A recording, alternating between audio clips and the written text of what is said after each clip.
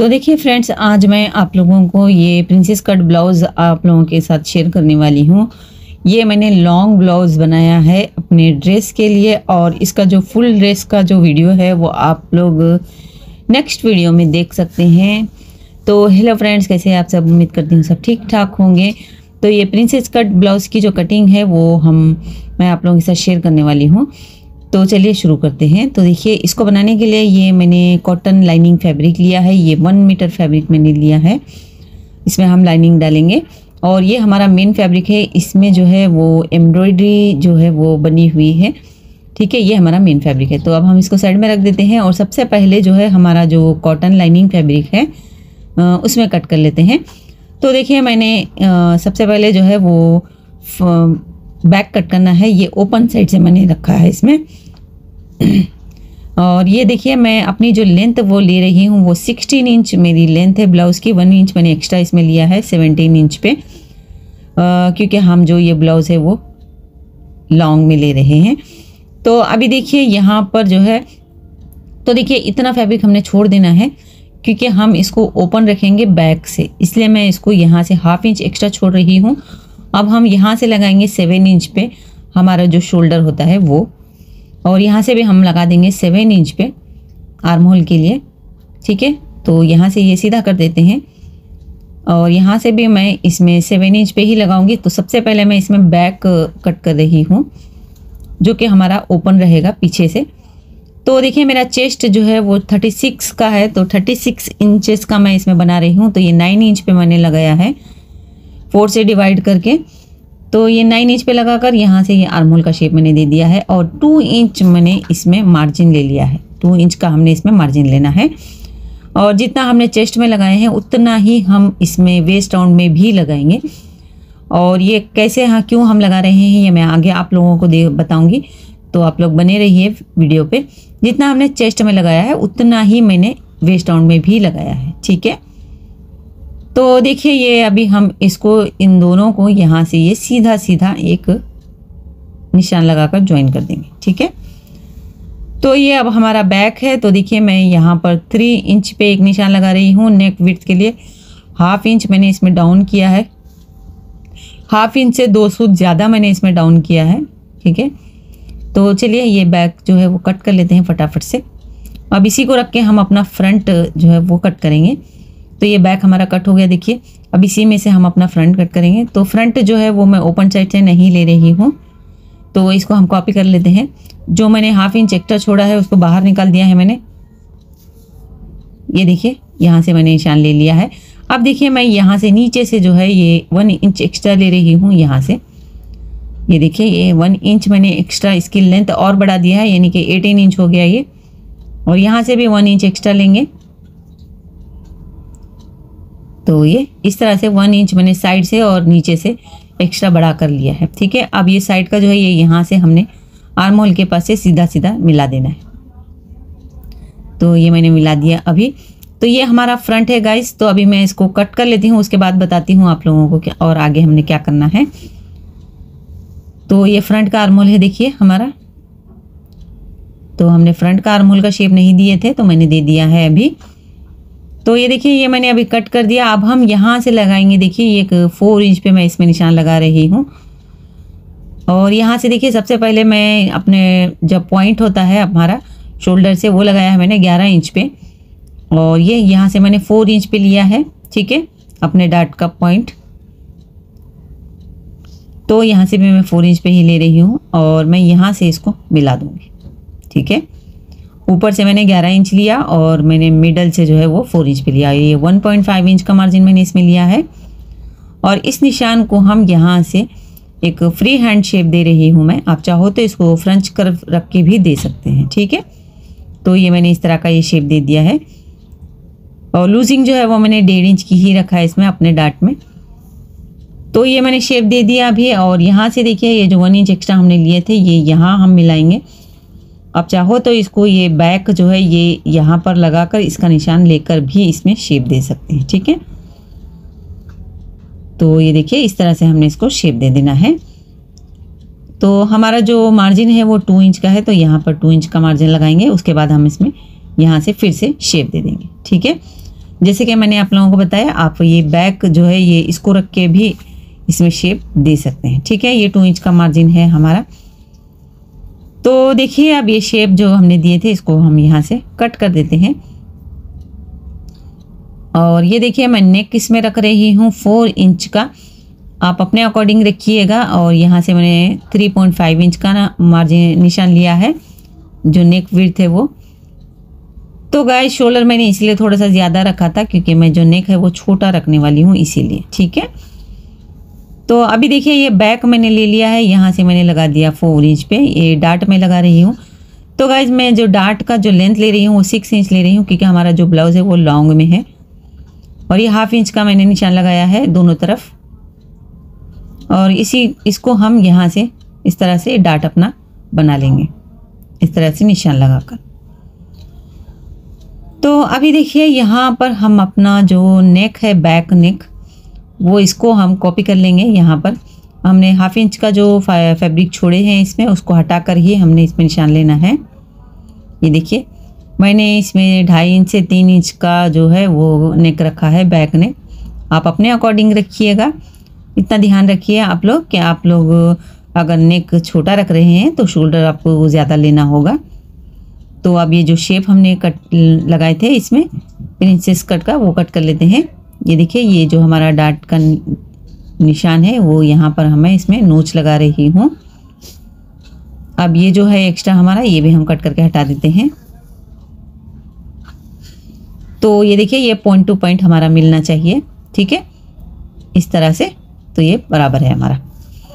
तो अभी देखिए, ये मेन फैब्रिक पे मैंने रखते हुए एज इट इज़ कट कर लिया है, जैसा हमने लाइनिंग कट किए थे, ठीक है?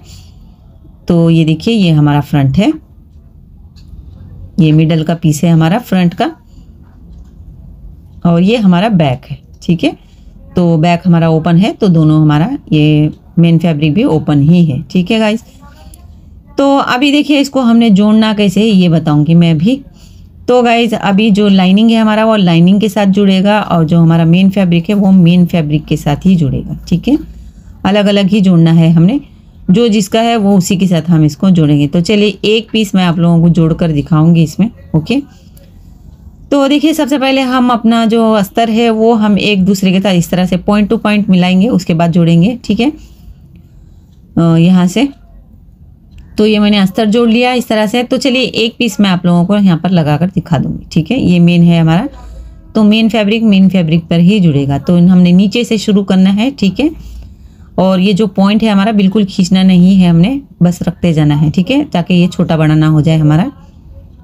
ये देखिए, इस तरह से आप लोगों को जोड़ देना है। तो ये मैंने आप लोगों को एक जोड़कर दिखा दिया है।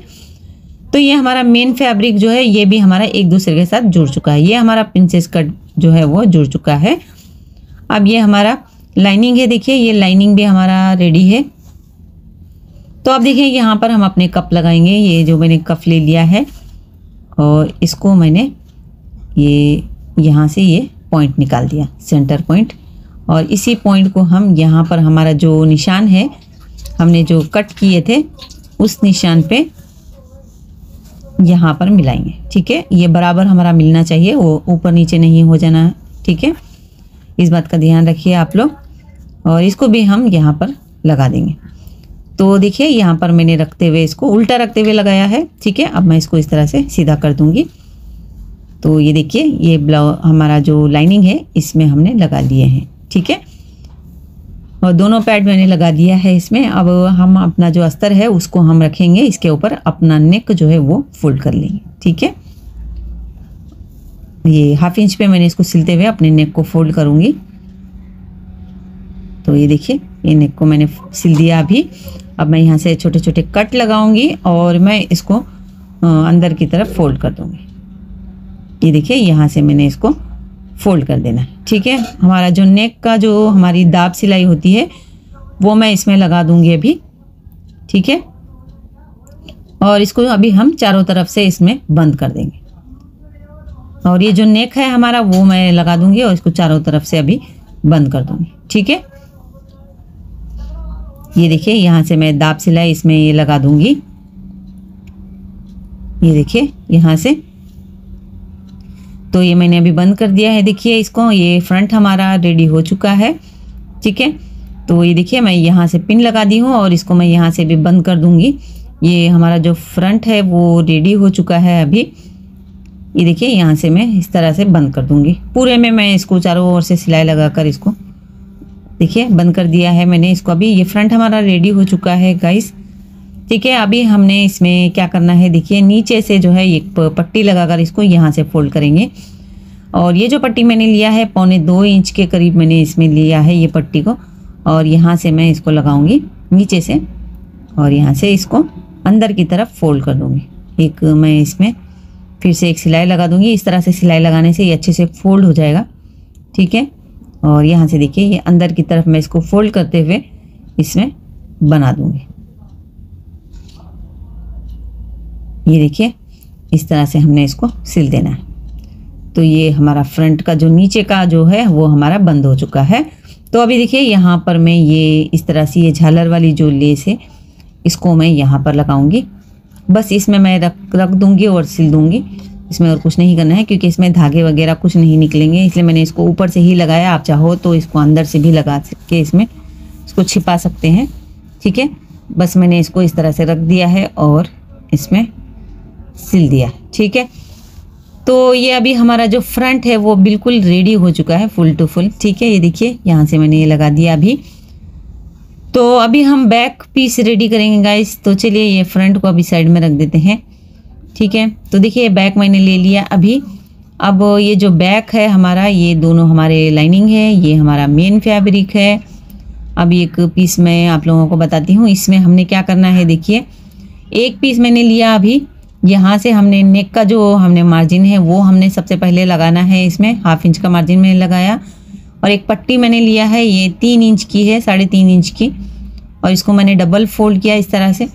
ये हम बटन पट्टी के लिए बना रहे हैं। अब देखिए, इसको ये यहाँ पर रखते हुए इसको हम ये देखिए, सिलाई का हमने छोड़ देना है, ऊपर नेक का हाफ़ इंच और यहाँ से हम इसको पहले लगा देंगे, और ये जो एक्स्ट्रा है इसको कट कर देंगे। अभी हमारी लग चुकी है, अब हम इसके ऊपर हमारा लाइनिंग जो है वो रखेंगे। अब हम इसको नेक के साथ फोल्ड करेंगे, ठीक है? ये हमारा नेक है। अब ये पट्टी हम इसको यहाँ से सिल देंगे। तो ये अंदर से हमारी जो पट्टी है वो बाहर आ जाएगी। अब हम यहाँ से कट लगा देंगे, छोटे छोटे से। ये मैंने कट लगा दिया अभी। अब हम इसको यहाँ से, ये देखिए, इस तरह से इसको फोल्ड कर देंगे अंदर की तरफ़ हमारे लाइनिंग को। अब ये जो पट्टी है हमारी, ये बाहर निकल चुकी है। ये बटन पट्टी है हमारी। ठीक है, अब हम इसमें अब इसी तरह से देखिए, ये ये वाला जो पीस है, ये वाला भी हम बिल्कुल रेडी कर लेंगे। बस इसमें हमने पट्टी नहीं लगाना है, ठीक है? तो ये देखिए, इस तरह से लगाकर मैंने इसको सिल दिया अभी। एक में हमने पट्टी लगाना है, एक में हमने पट्टी नहीं लगाना है। तो ये देखिए, ये इस तरह से हमारी एक दूसरे पे हो जाएगी। अब हम इसका शोल्डर ज्वाइन करेंगे। ये फ्रंट मैंने ले लिया है अभी। अब ये जो बैक है हमारा, इसका हम शोल्डर जो है वो ज्वाइन कर देंगे। ये देखिए, किस तरह से मैं शोल्डर ज्वाइन कर रही हूँ। इस तरह से हम करेंगे तो हमारा जो शोल्डर के जो धागे हैं, वो अंदर की तरफ़ रहेंगे। ये फिनिशिंग में रहेगा। ठीक है? ये इस तरह से जैसे हम लाइनिंग वाले ब्लाउज़ की सिलाई करते हैं, बिल्कुल वैसे ही है ये। ठीक है? तो यहाँ पर सिलाई को सिलाई मिलाएँगे मिलाएँगे। जो हमारा मेन फैब्रिक है, वही हमने मिलाना है दोनों में और जो हमारा लाइनिंग है, वो हमने इसको इस तरह से फोल्ड करना है। तो चलिए शोल्डर भी ज्वाइन कर दिया है, देखिए। अब मैं इसको यहाँ से सीधा कर देती हूँ। ये देखिए, इस तरह से ये भी मैंने सीधा कर दिया है। अब इसको सीधा करने के बाद जो अभी हमने इसको चारों ओर से सिल के इसमें बंद कर देना है। तो ये देखिए, कुछ इस तरह से ये फिनिशिंग के साथ हमारा ब्लाउज जो है वो हो गया है। तो अभी देखिए, ये जो है, यहाँ से हमारा ये ओपन है। देखिए, कितना फिनिशिंग से हमारा शोल्डर ये जुड़ चुका है। अब ये जो बाकी का जो हमारा ये ओपन है, यहाँ से जितना भी, ये सब हम इसमें बंद कर देंगे, ठीक है? ओके गाइस देखिए, ये चारों तरफ़ सिलाई लगाकर हम इसमें बंद कर देंगे। इसमें भी हम बिल्कुल ऐसे ही करेंगे, चारों तरफ़ से सिलाई लगाकर इसमें बंद कर देंगे। उसके बाद जो है, ये डार्ट्स मैंने ये निशान लिए थे जो आप लोगों के सामने तो ये डार्ट्स जो है वो हम यहाँ से सिल देंगे, ठीक है? ये देखिए, यहाँ से। तो चलिए, ये भी रेडी कर देती हूँ मैं। तो डार्ट भी मैंने लगा दिया है अभी। तो अभी नीचे जो है, उसको हम बंद करेंगे। ये डार्ट हमने लगा दिए हैं। तो अब देखिए गाइज़ यहाँ हमने कैसे बंद करना है, इसमें भी मैं वही पट्टी लूँगी, पौने दो इंच की, ये देखिए। तो सबसे पहले देखिए, हम जो पट्टी लगाए थे, उसे बंद करेंगे। ये देखिए थोड़ा सा बाहर निकाला मैंने। अब इसको नीचे की तरफ़ फोल्ड कर दिया, ठीक है? और यहाँ से मैं इसको सिल दूँगी। हल्की सी, हम छोटी सी एक प्लेट इसमें डालेंगे। क्योंकि हमने जो डाट लगाए हैं, उसकी वजह से ये थोड़ी सी फैल जाएगा, इसलिए मैं इसको इस तरह से एक डाट छोटी सी प्लीट लगा रही हूँ डाट की वजह से। अब हम इसको यहाँ पर भी सिल देंगे। तो इस तरह से सिलेंगे तो ये पट्टी अच्छे से फोल्ड होगी। तो बस इतना ही करना है हमने इस पट्टी को डबल फोल्ड करते हुए यहाँ से बंद कर देना। तो ये हो गया अभी हमारा। इसी तरह से हम जो दूसरा वाला है, उस पर भी सिल लेंगे। ये देखिए यहाँ पर। तो इसी पट्टी को ये देखिए यहाँ से मैं एक्स्ट्रा बाहर निकालूँगी ये नीचे करूँगी और यहाँ से मैं इसको बंद कर दूँगी। ठीक है? बिल्कुल इसी तरह से। तो देखिए ये नीचे से भी मैंने बंद कर दिया अभी। ये हमारा रेडी हो चुका है। अब हम इसको आ, मैं इसमें हुक लगा दूँगी। ठीक है? ये देखिए यहाँ से हमारे हुक लगेंगे ये ओपन साइड से। तो अब मैं इसको इस तरह से उल्टा करूँगी और हमारा जो मार्जिन था टू इंच का मैंने इसमें मार्जिन रखा था। ठीक है? आपको अगर टाइट लूज होता है तो यहाँ से आप कर सकते हैं ओके टू इंच का हमने इसमें मार्जिन रखा है ब्लाउज में ज़्यादा ही रखा जाता है, ठीक है? तो देखिए, इस तरह से मैं सीधा सीधा टू इंच का निशान लगाकर इसमें साइड जो है वो बंद कर दूँगी, ठीक है? अगर आप लोग इसमें स्लीव लगाना नहीं लगाना चाहते हैं तो आप इसको पट्टी से बंद कर सकते हैं स्लीव को बट मैं इसमें स्लीव लगाऊँगी और उसकी कटिंग नहीं बताऊँगी मैं आप लोगों को। जो बेसिक हमने स्लीव कट करते हैं, बिल्कुल वैसे ही कट करना है हमने।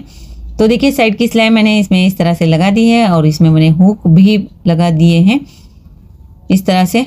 और ये यहाँ से देखिए ये यहाँ पर मैंने बंद कर देना है इस तरह से ठीक है? जैसे कि मैंने आप लोगों को बताया बैक में जो है वो मैंने ओपन रखा है। तो ये ज़्यादा कंफर्टेबल रहता है गाइस आप चाहो तो इसमें स्लीव लगा सकते हैं बट मैं इस आ, आप लोगों को स्लीव कट करना नहीं बताया है मैंने और मैंने स्लीव कट कर लिया है। ये मेरा मेन जो मेरा ड्रेस है, उसी के साथ मेरा ये वाला फैब्रिक है सिल्क सेटन फैब्रिक उसी के मैंने इसमें स्लीव लगाया है। तो ज़रूर इसकी वीडियो नेक्स्ट वीडियो ज़रूर देखिएगा गाइज़ इसका जो पूरा जो ड्रेस है वो मैं उसी में शेयर करूँगी, ठीक है? तो देखिए स्लीव हमारी लग चुकी है। तो गाइज़ कुछ भी आप लोगों को समझ में नहीं आया है तो प्लीज़ आप कमेंट कीजिए, मैं ज़रूर आप लोगों के साथ आंसर करूँगी। क्या समझ में नहीं आया है?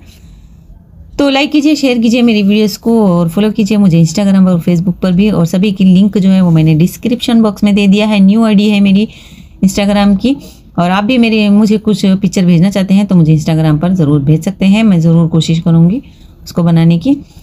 तो वीडियो पसंद आई है तो लाइक कीजिए शेयर कीजिए।